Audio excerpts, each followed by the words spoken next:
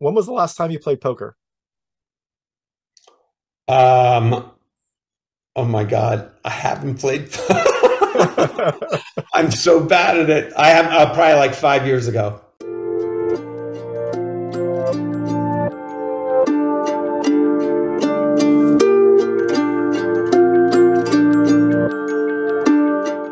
Everyone, this is David Stark from Watch or Pass. Today I'm talking to Roger Kumble, the director of Beautiful Disaster, which is coming to theaters on April 21st, 2023, and the VOD on May 2nd, 2023. I'm going to talk to him right now. while you're watching, if you can like and subscribe to this channel, that would be fantastic. I'll spend a lot. Thank you. Awesome. So thanks so much for joining me. This is Roger Kumble, the director and co-writer of Beautiful Disaster, which comes to theaters on April 21st, 2023, and the VOD on May 2nd, 2023.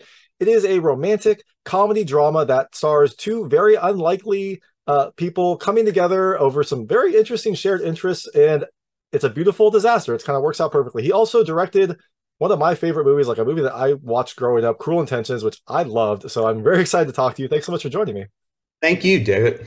Of course, of course. So the first question, like, how did you get involved in this film? I saw you were a co-writer. I wasn't sure if you adapted the story or if like you you know saw the script made some changes and then you know decided to direct uh, no i actually um um i i found the book. I was uh there was this uh, app goodreads which is like how i usually uh find books i like to read and there it was like on the top of um all these kind of lists you know? Mm-hmm. uh, i never heard of the book and i i um I grabbed the book and I read it and and I was like, this checks a lot of boxes for me in in terms of something I'm looking to do.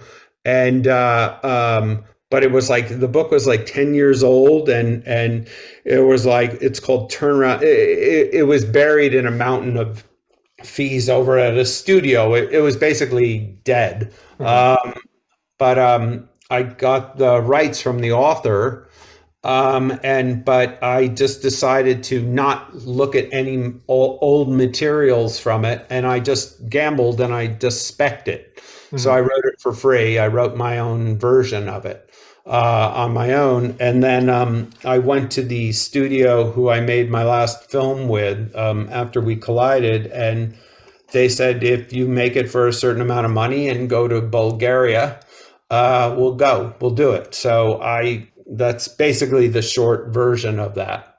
So uh, that's that's how it happened. That is awesome. I love you know, I love a few things about that. One, I love that you kind of like took it on yourself. You're like, I want to make this film. I'm going to figure out how to get it done, and then you just kind of like by your bootstraps and will just kind of like made this thing happen. That's amazing. Thank you. Yeah. And I love so I was going to bring it up later, but I love that this film was filmed in Bulgaria. I I had no idea, right? I think that was uh, amazing. Like I was looking at the credits, I was like, "Where was this film?" And it says fully filmed in Bulgaria. So how did like how did that work out? Had you filmed in Bulgaria before, and how did it? Do you make it look no. like so seamless? Um, that's through um, um, a great production designer, Britt Dougherty, who I worked with on Suits for like um, five years. Um, so I knew she, I knew from working with her and cheating um, um, uh, Toronto for New York. Um, and and uh, uh, Joshua Reese, my uh, DP, you know, you, you work with as a team, and that's what you do in filmmaking. You cheat. Uh, so movie magic, I believe, is what it's called. It's movie magic. Uh, yeah, uh, and and uh, Brian Pitt, my producer, like they had they had an infrastructure there, so they they had they had done a couple films out in Bulgaria, and you know, you just look at enough location photos, and you're like, this could work, this could work, this could work, this could work, you know, and you just go on a bunch of location scouts. You know, the trickiest thing is with the um, with the it's COVID and with the extras, you know, and knowing you want kind of um, um, a diverse uh, college, you know, so really the challenge was was I I had said like I want to find uh, um, an ethnic group mm-hmm. of, of, of college students. So put a go to University of Sofia and and find every you know um, ethnic looking student, and usually they're from some Africa. Mm-hmm. Hire them and almost like surround our actors in every scene with them, so it looks like we're in Sacramento at a college. You know those are the tricks you have to do as a filmmaker to get away with it. Yeah, no, that's that's really interesting. Like you know, the, the whole filming in COVID internationally, I was I was unsure how you would do that. Like, that's that's really great that you kind of like were able to I don't know get it in house, kind of. I mean, get it at least in country, so that it was probably easier to get them. That's a that's a very smart way to do it. Yeah, yeah, and and you know if you're you're lens, you know you're using certain lenses, and you're hopefully your film's good enough that they're not looking. well, yeah, the, the, the effects at least were good enough. I didn't I didn't notice. Like I was trying to f- figure out where in America it was because I think it had a nice, you know, you had the map which helped place it, and then Vegas you had the the stock shots that really kind of set you in. Yeah. So uh, I think that that was a good kind of like use of movie magic for this. Thanks, thank you. And you know, it's a it's a raw it's a romantic dramedy rom com kind of film. The you know the, the two leads are crucial. I know you worked with Dylan Sprouse before, but uh, how did you get him involved in this, and how did you get Virginia Gardner on this as well?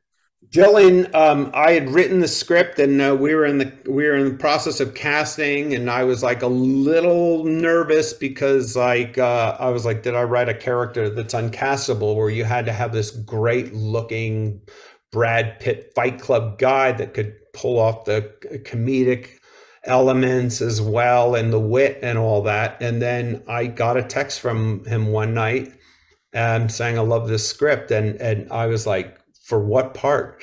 Um, and he's like, Travis. And I'm like, can you get in this kind of shape? And he goes, yeah, I've done it before.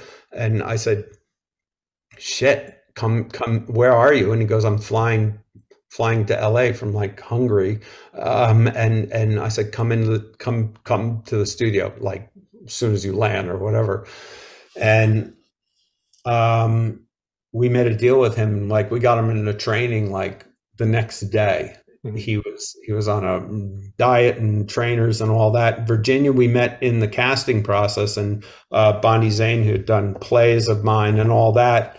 Um, I just trusted her and Dylan and I and Ginny, we had like a lunch together, and she came over. Um, they came over to my house for dinner with my wife and all that, and and you know, it's a little bit of a leap of faith. But like once we all got to Bulgaria and we were rehearsing the the the fact that I had I had control of the script because I wrote it. Um, I'm and I come from theater. I, I was able to rewrite it and and and and workshop the script with them. So uh, we could tailor the scenes to their abilities and and and make sure the chemistry landed.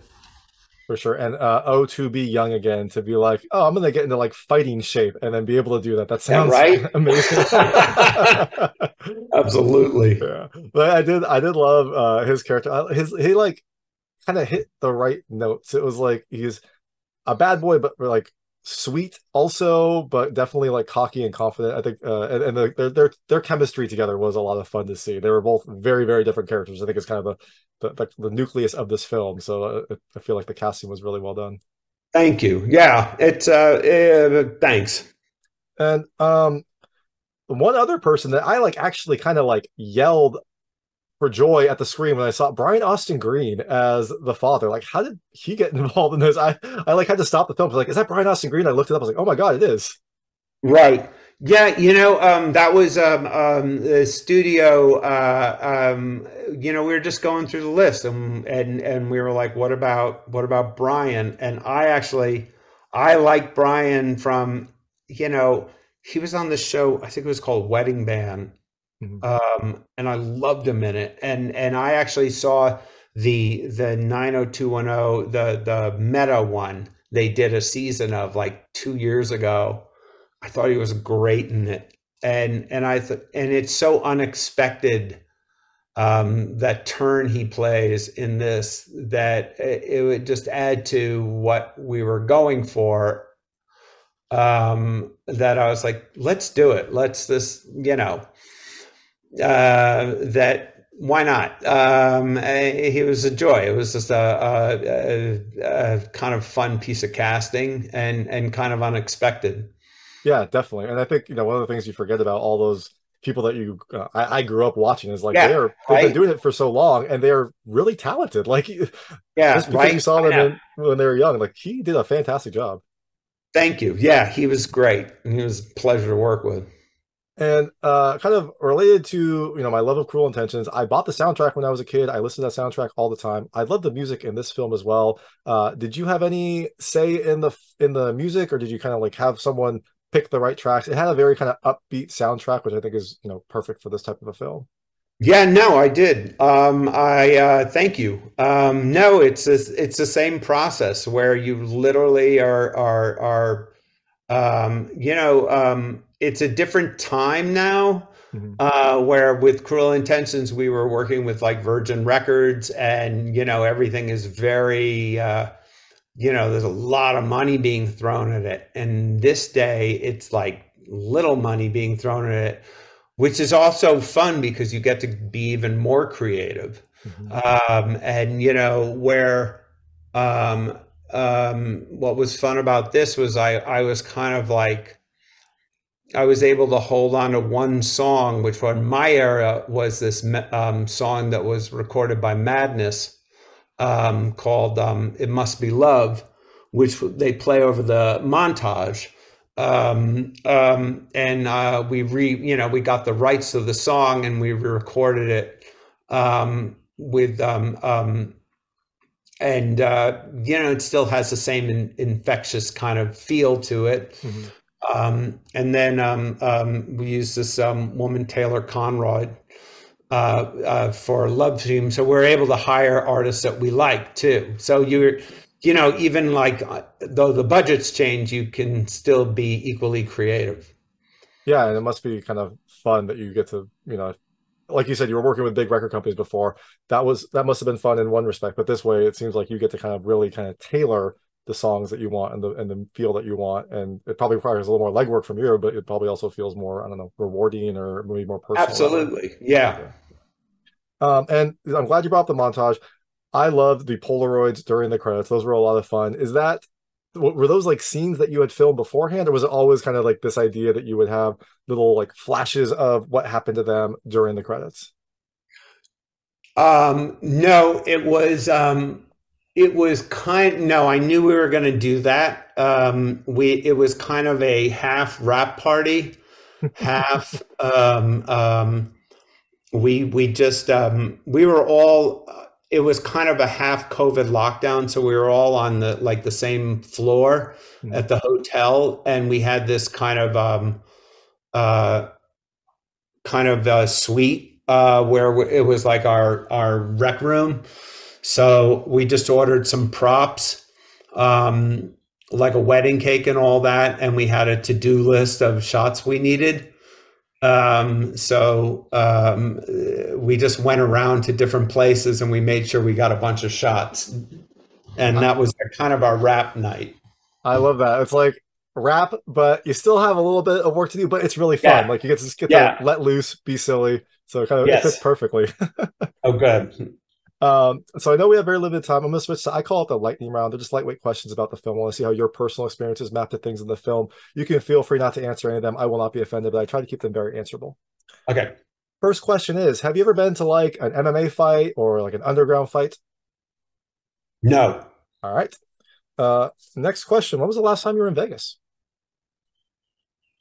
Two years ago. And did you win big? Lost big? Yeah. In between? No, I don't gamble. One of the rare people that goes to Vegas that doesn't gamble. um, when was the last time you played poker? Um, oh my god, I haven't played. I'm so bad at it. I have uh, probably like five years ago. Oh, excellent. Well, I also am very bad at gambling, and I try to stay away from it, so I completely understand. Um, what is the strangest place that you've met someone that you be, like developed a friendship or a relationship with? Um, I, uh, God, I, uh, you can you can choose not to answer. That's perfectly fine as well. I'm gonna just stammer through it. All right, no worries at all. Uh, and the last question is: Have you ever gotten into a fight? Like a fist fight? Second grade. Oh, wow. I won. I won. I'm one to know. That's a great record. That's amazing. you should, Thank you. You should have played. Uh, you should have played Travis's, you know, trainer or something for this. I should have. All right. So the uh, the film is out uh, on April twenty first, twenty twenty three, and coming to VOD on May second, twenty twenty three. You're out promoting it, getting the word out. I'm sure you have other projects in the works. So after people see Beautiful Disaster, what can they look for next from you? Uh, possibly a sequel coming out next year. There we go. A, a, a new another Beautiful Disaster. We'll, we'll call it. Our beautiful disaster two, beautiful wedding. Oh, there we go. All right, that sounds good. Well, that, that sounds amazing. The film is a beautiful disaster. It comes out on in theaters on April twenty first, twenty twenty three, and on VOD on May second, twenty twenty three. This is Roger Kumble, the director and co-writer. Thank you so much for your time. Thank you so much. That was Roger Kumble, the director and writer of Beautiful Disaster, which comes to theaters on April 21st, 2023, and on VOD on May 2nd, 2023. It is a romantic comedy drama that stars two very, very different characters in a situation that is strange, but also strangely works. If you liked this interview, please like and subscribe to this channel. It helps me out a lot. Make sure all my new content goes straight to you. Thank you.